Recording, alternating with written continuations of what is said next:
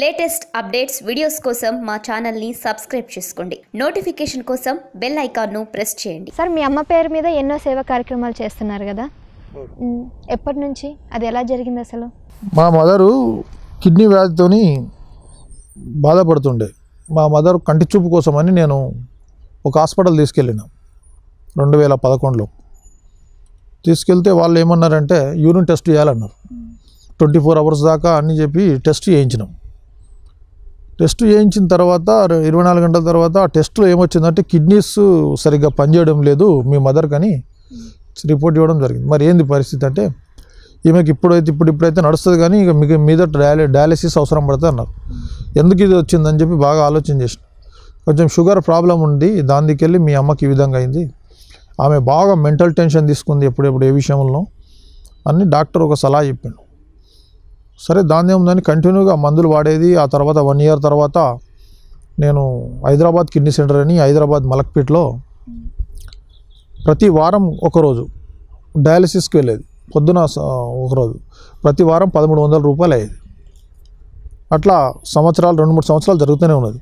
ఒకరోజు హాస్పిటల్లో నేను డయాలసిస్కి వెళ్ళి మా అమ్మను డయాలసిస్ మిషన్ మీద పెట్టిన తర్వాత బయటికి వెళ్ళి ఇడ్లీ తీసుకొచ్చున్నాను డయాలసిస్ చేస్తుంటేనే తినబెడుతుంటే అయితే ఒకరు ఇక్కడ నల్గొండను వరంగల్ డిస్టిక్ నుంచో వచ్చి వాళ్ళ డయాలసిస్ కోసం వాళ్ళ భర్తను డయాలసిస్కి పెట్టి ఆమె అక్కడ ఒక బట్టలో వెండిపోయిన రొట్టెలు తీసి తింటున్నది. నేను అక్కడ మా అమ్మకి టిఫిన్ చేద్దామని నేను బయలుదేరుతున్నాను అంటే పాపం బాధ అనిపించి ఏందమ్మా మీరు రొట్టెలు తింటున్నారు? అని అంటే భోజనం ఒక ప్లేటు అరవై యాభై ఇరవై రూపాయలు ఉంటాయి కదా లేదు బిడ్డ నేను యాభై అరవై రూపాయలు నేను అక్కడ పెట్టిన అనుకో మా ఆయనకు పదమూడు వందల డయాలసిస్లో యాభై రూపాయలు తక్కువ పడతాయి. ఆయన ప్రాణం కంటే నాకు ఎక్కువేముంది బిడ్డ అన్నది. బాధ అనిపించింది. నేను అప్పుడే వెళ్ళి మా అమ్మకు ఇడ్లీ తెస్తే తెస్తే ఆమె కూడా మిల్స్ తెచ్చిన ఇచ్చిన. నేను ఆ ఒక్కరోజు ఇవ్వగలుగుతాను. మళ్ళీ మిగతా రోజులంతా వాళ్ళ పరిస్థితి ఏందనేది చెప్పి మైండ్లో బాగా కూర్చుని పోయింది. బాగా బాగా బాధ అనిపించింది. బాధ అనిపించి ఈ ఎందుకు ఈ డయాలసిస్ ప్రాబ్లం ఈ కిడ్నీ వ్యాధిన పడి ప్రజలు ఎందుకు ఇట్లా అవుతారు అన్నటువంటి ఆలోచన వచ్చి మా అమ్మ అట్లనే ఇక టూ ఫోర్టీన్లో మా అమ్మ కిడ్నీ వ్యాధి చేయించడం చేయించడం ఇది సంవత్సరాలు సంవత్సరాలు గడిచింది ఇక నాలుగు సంవత్సరాలు. లాస్ట్ అపోలో హాస్పిటల్లో మా అమ్మ సీరియస్ అయింది. రెండు వేల పద్నాలుగు పదిహేను ఆగస్టులో మా అమ్మ మరణించడం జరిగింది. ఆ తర్వాత ఇక నాకు ఆ దృశ్యాలు అన్నీ మనసులో ఉండి జేవైఎం ఫౌండేషన్ పెట్టి ఎక్కడ కూడా కిడ్నీ వ్యాధి వాళ్ళు ఉన్నా ఎక్కడ ఉన్నా ఏం కదా తెలుసుకొని మరీ వాళ్ళకు నేను అక్కడ హాస్పిటల్లో కొన్ని బెడ్స్ అటువంటివి తీసుకొని వాళ్ళకు ఫ్రీగా డయాలసిస్ చేసేటట్టు ప్రారంభం చేసిన. నిజంగా కూడా మనిషి ఆర్థికంగా ఎదిగితే ఈ అయిన కాడికి సహాయం చేయాలనేటువంటి తత్వం ఈ రోజులలో లేదు. వాళ్ళ కుటుంబం వాళ్ళ పిల్లలు ఇక్కడి నుంచి కాదు రాష్ట్రంలో పరిపాలించేటటువంటి నాయకులు కానివ్వచ్చు వ్యాపార రంగంలో అభివృద్ధి చెందిన నాయకులు కానివ్వచ్చు.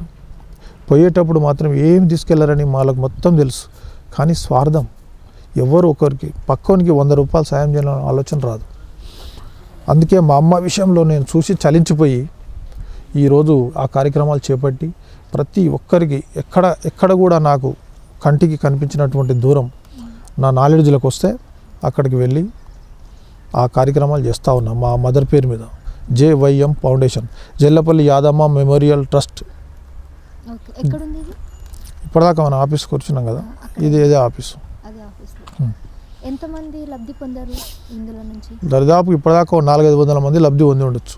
కంటి అద్దాలు ఇక్కడ పిలిచి మరి ఈ బస్సు తీసుకొని అక్కడ భోజనాలు వాళ్ళని ఇక్కడ చెకప్ చేయించి ఆపరేషన్లు చేయించి వాళ్ళ ఇంటి దగ్గర దింపడం ఐదైదు వందల రూపాయలు వాళ్ళ ఖర్చులకు ఇవ్వడం ఇంపి దింపడం జరిగింది మా ట్రస్ట్ ద్వారా.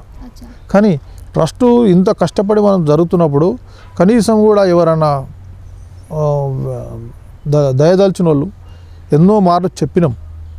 మీరు కూడా డొనేషన్లు ఇస్తే మీరు కూడా ఇందులో దానకర్తలు మీరు కూడా ఇందులో పాల్పంచుకున్నట్టు ఇద్దరు భాగస్వాములు అవుతారు అని చెప్పడం జరిగిందని కొందరు ఇవ్వలేదు. చాలా మటుకు కొందరు సహకరించరు సహకరించలేదు కొందరు.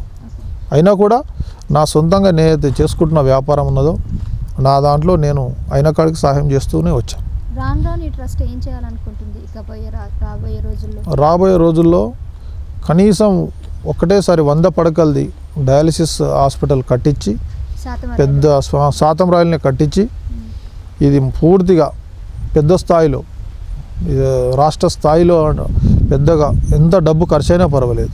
రాను రాను కట్టించి పేద ప్రజలకు మా అమ్మ పేరు మీద అంకితం చేయాలనేటువంటి ఆలోచనతో ఉన్నాను నేను. ఆ భగవంతుడు సహకరిస్తే ఖచ్చితంగా ఆ కార్యక్రమం నేను చేస్తాను.